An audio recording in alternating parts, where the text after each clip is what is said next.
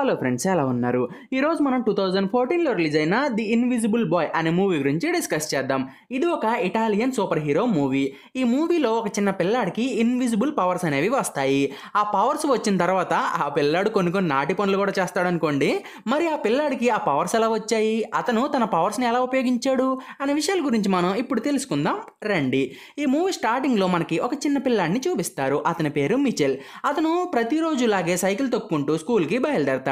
కానీ సడన్గా అతను దారి మధ్యలో ఆగి ఒక షాప్ దగ్గరికి వెళ్ళి ఏదో కాస్ట్యూమ్ని చూస్తుంటాడు. యాక్చువల్గా మిచెల్ స్కూల్ పార్టీ కోసం ఆ కాస్ట్యూమ్ని కొనుక్కోవాలని అనుకుంటాడు. కానీ అతని దగ్గర కేవలం ఫిఫ్టీ యూరోస్ మాత్రమే ఉంటాయి. అందువల్లే మిచెల్ ఆ కాస్ట్యూమ్ని కొనలేకపోతాడు. స్కూల్లో మిచెల్ ఎప్పుడు కూడా తన క్రష్ అయిన స్టెల్లా అనే అమ్మాయి వెనకాలే కూర్చునేవాడు. ఒకరోజు క్లాస్ జరుగుతూ ఉన్నప్పుడు జియోవానా అనే పోలీస్ ఆఫీసరు వీళ్ళ క్లాస్కి వస్తుంది. ఇన్ఫ్యాక్ట్ ఆమె మిచెల్ వాళ్ళ మామ్ కూడా. ఆమె ఒక కేసు ఇన్వెస్టిగేషన్ పని మీద మిచెల్ స్కూల్కి వస్తుంది.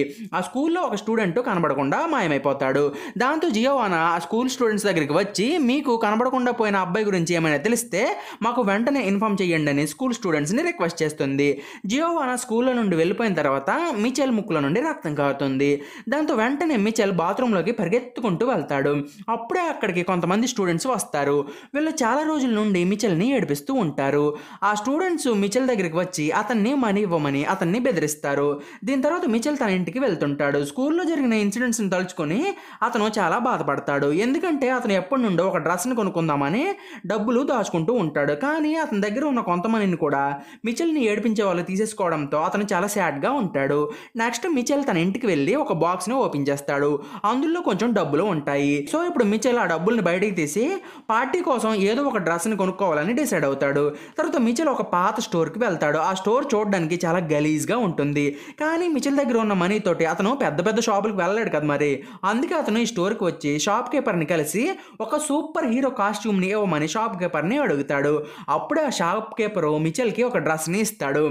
ఆ డ్రెస్ స్కిన్ కలర్లోనే ఉంటుంది. అండ్ దాంతోపాటు ఆ డ్రెస్ చాలా చిన్నగా కూడా ఉంటుంది. అయినా కానీ షాప్ కీపర్ దాన్ని మిచెల్కి అంటగట్టేయాలని ఆ డ్రెస్ ఒక చైనీస్ సూపర్ హీరోదని మిచిల్కి చెప్తాడు. బట్ మిచెల్ మాత్రం అతని మాటలను నమ్మడు. కానీ అతని దగ్గర ఎక్కువ మనీ లేకపోవడంతో ఇక చేసేదేం లేక ఆ కాస్ట్యూమ్ని కొనుక్కుని అక్కడ నుండి వెళ్ళిపోతాడు. నెక్స్ట్ జియోవాన తన వర్క్ ఫినిష్ చేసుకుని ఇంటికి తిరిగి వస్తుంది. ఆ టైంలో మిచెల్ తను కొనుక్కున్న డ్రెస్ని వేసుకుని ఉంటాడు. ఆ డ్రెస్ను చూసి జియోవాన్కి పిచ్చి లేస్తుంది. దాంతో ఆమె నువ్వు ఆ డ్రెస్ వేసుకుని పార్టీకి వెళ్ళొద్దని మిచెల్కి చెప్తుంది. ఎందుకంటే ఆ డ్రెస్లో మిచెల్ ఒక పిచ్చోళ్ళగా ఉన్నాడని జియోవాన భావిస్తుంది. కానీ మనోడు మరీ ముందు పట్టు పట్టేసరికి అతన్ని పార్టీకి పంపించేస్తుంది. మిచెల్ కూడా పార్టీకి వెళ్ళి ఫుల్గా ఎంజాయ్ చేస్తాడు. అలాగే అతను తన క్రష్ అయిన స్టెల్లాతో కూడా మాట్లాడతాడు. బట్ అప్పుడే మిచెల్ని ఏడిపించిన వాళ్ళు ఆ పార్టీలో స్టెల్లా వీడియోస్ని ప్లే చేస్తారు. ఆ వీడియోస్ని చూసి స్టెల్లా కూడా షాక్ అవుతుంది. అప్పుడే ఈ బుల్లీస్ ఈ వీడియోస్ మాకు మిచెల్ సెల్ ఫోన్లోనే దొరికాయి. మేబీ అతను నిన్ను ఫాలో అవుతున్నట్టు ఉన్నాడు. అలాగే మిచెల్ నీకు తెలియకుండా నీ వీడియోస్ని తీశాడని చెప్తారు. ఇదంతా చూసి మిచెల్ చాలా ఎంబారెస్గా ఫీల్ అయ్యి బాత్రూంలోకి వెళ్ళి దాక్కుంటాడు. అప్పుడే అతని క్లాస్మేట్స్ బాత్రూమ్ డోర్స్ డోర్స్ని బాదుతూ అతన్ని బయటకు రమ్మంటారు. దాంతో మిచెల్కి ఏం చేయాలో అర్థం కాదు. అప్పుడే అతను అద్దం ముందుకెళ్ళి నిలబడి నేను ఎవరికి కనబడకుండా మాయమైపోతే బాగుండును అని అనుకుంటాడు. సడన్గా లైట్స్ కూడా ఆఫ్ అవుతాయి. అప్పుడే మిచెల్ బాత్రూమ్ విండో నుండి బయటకు దూకేసి తన ఇంటికి తిరిగి వెళ్ళిపోతాడు. ఆ నెక్స్ట్ మార్నింగ్ మిచెల్ నిద్రలేచినప్పుడు అతని కుక్క అతన్ని చూసి గట్టి గట్టిగా మొరుగుతుంది. కానీ అతను దాన్ని పట్టించుకోకుండా బాత్రూంలోకి వెళ్ళి పళ్ళు తోముకుందామని అనుకుంటాడు. అప్పుడే అతను అద్దంలో తనని తాను చూసుకుని షాక్ అవుతాడు. ఎందుకంటే అద్దంలో మిచెల్ కనిపించడు. కేవలం అతని బట్టలు మాత్రమే కనిపిస్తాయి. అది చూసి మిచిల్కి ఏం అర్థం కాదు. దాంతో వెంటనే అతను తన బట్టలు మొత్తం విప్పేసి మళ్ళీ ఒకసారి అద్దంలో తనని తాను చూసుకుంటాడు. అదే టైంలో జియోవానా కూడా ఆ రూమ్లోకి వస్తుంది. కానీ ఆమె మిచెల్ని చూడనట్టుగానే ప్రవర్తిస్తుంది. అంటే జియోవానాకి మిచెల్ కనబడడం లేదనమాట. దాంతో మిచిల్ కూడా తను నిజంగానే ఇన్విజిబుల్ అయ్యాన్ని రియలైజ్ అవుతాడు. నెక్స్ట్ జియోవానా మికెల్ నువ్వు ఎక్కడ ఉన్నావని అతన్ని పిలుస్తుంది. అప్పుడే మికెల్ జియోవానాకి డౌట్ రాకుండా నేను ఈరోజు స్కూల్కి త్వరగా వెళ్ళిపోతున్నానని ఒక పేపర్ పైన రాసి దాన్ని బెడ్ పైన పెడతాడు. జియోవానా కూడా ఆ లెటర్ని చదివి మిచెల్ స్కూల్కి వెళ్ళిపోయాడని అనుకుంటుంది. నెక్స్ట్ ఆమె మిచెల్ రూమ్లో నుండి వెళ్ళిపోతూ అతనికి కాల్ చేస్తుంది. మిచెల్ కూడా కాల్ని లిఫ్ట్ చేస్తాడు. అలాగే నేను స్కూల్లో ఉన్నానని ఆమెకు చెప్తాడు. నెక్స్ట్ మిచెల్కి ఏం చేయాలో అర్థం కాక చాలా కన్ఫ్యూజన్లో ఉంటాడు. అలాగే అతను తన బాడీ మొత్తాన్ని బట్టలతోటి కవర్ చేసి స్కూల్కి వెళ్తాడు. అతను స్కూల్కి వెళ్ళాక స్టెల్లా కూడా అదే టైంలో స్కూల్కి వస్తుంది. దాంతో మనోడు చాలా దూరం నుండి స్టెల్లానే చూస్తుంటాడు. తర్వాత మిచెల్కి తనని ఏడిపించిన వాళ్ళు కూడా కనిపిస్తారు. సో ఇప్పుడు మిచెల్కి ఇన్విజిబుల్ పవర్స్ ఉండడంతో అతను ఆ పవర్స్ను ఉపయోగించుకుని తనని ఏడిపించిన వాళ్ళని ఎలాగైనా సరే బుద్ధి చెప్పాలని డిసైడ్ అవుతాడు. నెక్స్ట్ అతను తన బట్టలను విప్పేసి స్కూల్లోకి వెళ్తాడు. క్లాస్ జరుగుతున్నప్పుడు మిచెల్ తనని ఏడిపించిన వాడి పెయింట్ బాల్ గన్ని తీసుకుని ఆ గన్ తోటి టీచర్పై అటాక్ చేస్తాడు. దాంతో టీచర్కి పిచ్చి కోపం వచ్చి మిచెల్ని ఏడిపించిన వాడిని బయటకు పొమ్మని చెప్పి అతనిపై గట్టిగా అరుస్తుంది. దెన్ మిచెల్ గర్ల్స్ చేంజింగ్ రూమ్లోకి వెళ్ళి అక్కడ అమ్మాయిలు బట్టలు మార్చుకుంటుంటే వాళ్ళని చూస్తూ ఉంటాడు. చూసారా? మనోడు ఎంత లక్కీనో? ఇతను అందరినీ చూస్తున్నా కానీ వీడు మాత్రం ఎవ్వరికీ కనిపించడం లేదు. కానీ తర్వాత ఒక టవల్ వచ్చి మిచిలపై పడుతుంది. ఆ వెంటనే ఒక మనిషి ఆకారాన్ని ఆ రూమ్లో ఉన్న గర్ల్స్ అందరూ కూడా చూస్తారు. అప్పుడే సడన్గా అతని ఇన్విజిబుల్ పవర్స్ కూడా మాయమైపోతూ ఉంటాయి. దాంతో అతను అందరికీ కనిపించేస్తాడు. వెంటనే గర్ల్స్ అందరూ మిచల్ని చూసి భయంతో గట్టి గట్టిగా అరుస్తారు. ఎందుకంటే ఇప్పుడు మిచల్ బట్టలు లేకుండా ఉన్నాడు కదా. అందుకే అందరూ కూడా అరుస్తారు. ఆ నెక్స్ట్ డే మిచెల్ క్లాస్లో ఉన్నప్పుడు బసిలి అనే సైకాలజిస్ట్ మెంటల్ హెల్త్ గురించి స్టూడెంట్స్కి చెప్తూ ఉంటాడు. ఇన్ఫ్యాక్ట్ మిచెల్ క్లాస్మేట్స్ ఇద్దరు లాస్ట్ మంత్ ఇంట్లో నుండి పారిపోయారు కదా. అందుకే స్కూల్ యాజమాన్యం ఇతన్ని పిలిచి స్టూడెంట్స్కి లెక్చర్ ఇవ్వమని అడుగుతారు. మిచెల్ ఆ సైకాలజిస్ట్ క్లాస్ని వింటూ ఉన్నప్పుడు అతని హ్యాండ్ గ్లో అవుతుంది. అండ్ సడన్గా అతని రెండు చేతులు కూడా మాయమైపోతాయి. బట్ లక్కీగా అప్పుడే క్లాసు ఎండ్ అయిపోవడంతో ఎవరు కూడా మిచెల్ని గమనించరు. మిచెల్ కూడా తన ఇన్విజిబుల్ అవడం ఎవరో కూడా చూడకూడదని చెప్పి క్లాసుల నుండి ఇంటికి పరిగెత్తుకుంటూ వెళ్ళిపోతాడు. అతను ఇంటికి వెళ్ళినప్పుడు క్లాత్ తోటి తన బాడీ పార్ట్స్ అన్నిటిని కవర్ చేసుకుంటాడు. మిచెల్ ఇంటికి వెళ్ళాక అతని సిస్టర్ కెండెలా అతని రూమ్లోనే ఉండడం గమనిస్తాడు. దాంతో అతను కెండెలని బయటకు వెళ్ళిపోమని చెప్తాడు. అలాగే అతను తన మొహం కెండెలకి కనిపించకూడదని చెప్పి గోడ వైపు తిరిగి నుంచుంటాడు. మిచెల్ అలా ప్రవర్తించడం చూసి కెండెలాకి అతనిపై అనుమానం వస్తుంది. దాంతో ఆమె రూమ్లో నుండి బయటకు వెళ్ళకుండా డోర్ని ఓపెన్ చేసి క్లోజ్ చేస్తుంది. డోర్ సౌండ్ విని మిచెల్ కూడా ఆమె వెళ్ళిపోయిందని అనుకుంటాడు. అలాగే అతను వెనకకి తిరగకుండా తన బట్టలను విప్పేస్తాడు. అప్పుడే కెండెల్ తన బ్రదర్ ఇన్విజిబుల్గా ఉండడం చూసి భయంతో గట్టిగా అరుస్తుంది. దాంతో మిచెల్ ఆమె దగ్గరికి వెళ్ళి ఆమెను శాంతపరిచి నేను ఒక కాస్ట్యూమ్ని కొన్నాను. ఆ కాస్ట్యూమ్ వల్లే నాకు ఇన్విజిబుల్ పవర్స్ అనేవి వచ్చాయని ఆమెకు చెప్తాడు. మీన్ వైల్ పోలీస్ స్టేషన్లో బసిలి కనబడకుండా పోయిన పిల్లల కేసు గురించి జియోవానాతో కలిసి ఇన్వెస్టిగేషన్ చేస్తూ ఉంటాడు. అప్పుడే జియోవానా పిల్లలను ఎవరైనా కిడ్నాప్ చేసి ఉంటారని చెప్తుంది. బట్ బసిలి మాత్రం ఈ రోజుల్లో పిల్లలు ఎవరి మాట వినడం లేదు. వాళ్ళు వాళ్ళకి నచ్చినట్టుగా ప్రవర్తిస్తున్నారు. నాకు తెలిసి వాళ్ళు ఇంట్లో నుండి వాళ్ళకి వాళ్ళే పారిపోయి ఉండొచ్చని అంటాడు. నెక్స్ట్ జియోవానా ఇంటికి తిరిగి వెళ్తుంది. ఆ టైంలో మిచెల్ ఇంకా ఇన్విజిబుల్గానే ఉంటాడు. జియోవానా ఇంటికి వెళ్ళి ఎవరితోనో కానీ ఫోన్లో మాట్లాడుతుంది. ఇక్కడే మిచెల్ని జియోవానా అడాప్ట్ చేసుకుంది అనే విషయం మిచెల్కి తెలుస్తుంది. ఆ విషయం తెలియగానే మిచెల్ బాగా సర్ప్రైజ్ అండ్ హట్ కూడా అవుతాడు. నెక్స్ట్ అతను ఇన్విజిబుల్ గానే దగ్గరలో ఉన్న ఒక ఉయ్యాల దగ్గరికి వెళ్ళి కూర్చుంటాడు. అతను ఉయ్యాల ఊగుతూ ఉన్నప్పుడు స్టెల్లా కూడా అక్కడికి వస్తుంది. అప్పుడే ఆమెకు అక్కడ ఎవరో కానీ ఉన్నారని తెలుస్తుంది. అయినా సరే ఆమె భయపడకుండా మిచెల్ దగ్గరికి వెళ్ళి నువ్వు నాతో ఫ్రెండ్షిప్ చేస్తావా? అని మిచెల్ని అడుగుతుంది. మిచెల్ కూడా స్టెల్లా అలా అడిగేసరికి బాగా ఎగ్జైట్ అయిపోతాడు. కానీ తను ఎవరో తెలియకూడదని చెప్పి తను మాట్లాడాలి అని అనుకున్నవన్నీ కూడా ఇసుకపైన రాసి స్టెల్లాతోటి కమ్యూనికేట్ చేస్తాడు. తర్వాత వీళ్ళిద్దరూ మళ్ళీ మీట్ అవుదామని ప్రామిస్ చేసుకుంటారు. స్టెల్లా అక్కడ నుండి వెళ్ళిన తర్వాత ఒక వ్యక్తి కొంచెం దూరంలో నిలబడి మిచెల్నే చూస్తుంటాడు. మిచెల్ ఇన్విజిబుల్ అయినా కూడా ఆ వ్యక్తి అలా చూస్తుండడంతో మిచెల్ కొంచెం షాక్ అవుతాడు. నెక్స్ట్ ఆ వ్యక్తి ఒక కర్ర పట్టుకుని నడుస్తాడు. ఇక్కడే మనకి ఆ వ్యక్తి ఒక బ్లైండ్ పర్సన్ అని తెలుస్తుంది. అదే రోజు నైట్ ఇన్విజిబుల్ మిచెల్ స్టెల్లా ఇంటికి వస్తాడు. స్టెల్లా కూడా చాలా హ్యాపీగా మిచెల్ని తన ఇంట్లోకి వెల్కమ్ చేస్తుంది. తర్వాత వీళ్ళిద్దరూ కిస్ చేసుకుంటూ ఉంటారు. అప్పుడే సడన్గా మిచెల్ పవర్స్ మాయమైపోతూ ఉంటాయి. దాంతో స్టెల్లాకి తన ఫేస్ కనబడకూడదని చెప్పి మిచెల్ అక్కడ నుండి వెళ్ళిపోతాడు.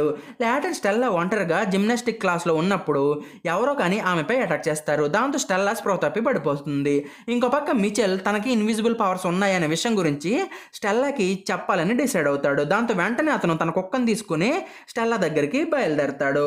అతను జిమ్నాస్టిక్ బిల్డింగ్ దగ్గరికి వెళ్ళగానే ఒక మాస్క్ వేసుకుని ఉన్న పర్సన్ స్టెల్లాని కిడ్నాప్ చేసి తీసుకువెళ్తూ ఉండడం మిచెల్ చూస్తాడు. అలాగే మిచెల్ ఆ వ్యక్తిని అటాక్ చేస్తాడు. అతను కుక్కేమో ఆ మాస్కుడ్ మ్యాన్ని ని కొరికేస్తుంది. హౌఎవర్ ఆ వ్యక్తి స్టెల్లాని కిడ్నాప్ చేసి అక్కడ నుండి ఎస్కేప్ అవుతాడు. లేటర్ పోలీసులు ఆ ప్లేస్కి వస్తారు. అప్పుడే వాళ్ళకి మిస్ అయిన పిల్లలు పారిపోవడం లేదు. వాళ్ళని కిడ్నాప్ చేస్తున్నారు అనే విషయం గురించి తెలుస్తుంది. నెక్స్ట్ స్టెల్లా ఒక స్ట్రేంజ్ రూమ్లో మెలకులోకి వస్తుంది. అప్పుడే ఆమె తలకి చాలా వైర్స్ అటాచ్ చేయబడి ఉంటాయి. నెక్స్ట్ బసీలి అక్కడికి వచ్చి స్టెల్లాని ఇంట్రాగేట్ చేస్తాడు. ఇక్కడే పిల్లలందరినీ కిడ్నాప్ చేస్తుంది బసిలి అని తెలుస్తుంది. తర్వాత కొంతమంది సైంటిస్టులు స్టెల్లాపై కొన్ని టెస్టులు చేసి ఆమెను ఒక సెలలో బంధిస్తారు. అదే సెల్లో లాస్ట్ మంత్లో మిస్ అయిన ఇంకో ఇద్దరు స్టూడెంట్స్ కూడా ఉంటారు. ఆ నెక్స్ట్ డే మిచెల్ ఒంటరిగా ఒక బీచ్లో కూర్చుని స్టెల్లా కోసం ఆలోచిస్తూ ఉంటాడు. అప్పుడు బ్లైండ్ పర్సన్ అతని దగ్గరికి వచ్చి మిచెల్ ఏమేమి అనుకుంటున్నాడు అనే విషయాల గురించి అతనికి చెప్తాడు. అది విని మిచెల్ అసలు నువ్వెవరు? నీకు నేనేం ఆలోచిస్తున్నానో ఎలా తెలుసని అతన్ని అడుగుతాడు. అప్పుడే ఆ వ్యక్తి నా పేరు ఆండ్రేజే. అండ్ నేను మీ ఫాదర్ని అని మిచెల్కి చెప్తాడు. ఆ మాట విన్న వెంటనే మిచెల్ దాన్ని అస్సలు నమ్మలేకపోతాడు. అప్పుడే ఆండ్రేజ్ మిచెల్కి ఒక స్టోరీని చెప్తాడు. పాస్ట్లో నేను ఒక చిన్న సిటీలో నార్మల్ లైఫ్ని గడుపుతూ ఉండేవాడిని ఆ సిటీ రష్యాలో ఉండేది. కానీ అప్పుడే రష్యాలో ఒక న్యూక్లియర్ ఎక్స్ప్లోజన్ జరిగింది. దీని కారణంగా నేను ఉన్న టౌన్ కూడా రేడియేషన్కి గురైంది. ఆ రేడియేషన్ వల్ల చాలామంది ప్రజలు చనిపోయారు. కొంతమందిలో అయితే చాలా చేంజెస్ వచ్చాయి. ఆ రేడియేషన్ వల్ల కొంతమంది ప్రజలు డిఎన్ఏ మ్యూటేట్ అయ్యి వాళ్ళకి సూపర్ హ్యూమన్ పవర్స్ వచ్చాయి. Like flying telepathy invisible powers so అని అనమాట ఈ పీపుల్ని మిలిటరీ వాళ్ళు టెస్ట్ సబ్జెక్టులుగా వాడుకొని వాళ్ళని మిలిటరీ వెపన్స్గా వాడుకోవాలని డిసైడ్ అయ్యింది. అలాగే వీళ్ళందరికీ స్పెషల్స్ అనే పేరు కూడా పెట్టింది. మిలిటరీ వాళ్ళు ఈ స్పెషల్స్ పై డిఫరెంట్ డిఫరెంట్ ఎక్స్పెరిమెంట్స్ కండక్ట్ చేసేవాళ్ళు. దాంతో స్పెషల్స్లో చాలా మంది బాగా వీక్ అయ్యి చనిపోయేవాళ్ళు. కానీ ఆ టైంలో నాకు అండ్ మీ అమ్మకి మంచి సంబంధం ఏర్పడి మా ఇద్దరికి నువ్వు పుట్టావు. నువ్వు స్పెషల్స్కి పుట్టడంతో మిలిటరీ వాళ్ళు నీకు స్పెషల్ సూపర్ పవర్స్ ఉంటాయని భావించి నిన్ను మా దగ్గర నుండి తీసుకెళ్ళిపోయారు. కానీ మేము నిన్ను ఎలాగైనా సరే కాపాడాలని చెప్పి మిలిటరీ వాళ్ళ దగ్గర నుండి నిన్ను తీసుకుని పారిపోయాం. బట్ మిలిటరీ వాళ్ళు మమ్మల్ని చేసి చేస్తూ వచ్చారు. నాకు ఎదుటి వాళ్ళ మైండ్స్ని రీడ్ చేసే పవర్స్ ఉంది. అండ్ మీ అమ్మకేమో ఇన్విజిబుల్ పవర్స్ అనేవి ఉన్నాయి. సో అందుకే ఆమె నిన్ను నాకు అప్పగించి తను మాత్రం మిలిటరీ వాళ్ళతోటి ఫైట్ చేసి మన ఇద్దరిని సేవ్ చేసింది. ఆ ప్రాసెస్లో మీ అమ్మ చనిపోయింది. కానీ నువ్వు నాతో పాటే ఉంటే ఎప్పటికైనా నీకు ప్రమాదం అని భావించి నేను నిన్ను జియో జియోవానా ఇంటి ముందు వదిలేసి వెళ్ళిపోయాను. జియో జియోవానా మంచిది అని నేను ఆ ఆమె మైండ్ని రీడ్ చేసి తెలుసుకున్నానని మిచెల్కి చెప్తాడు.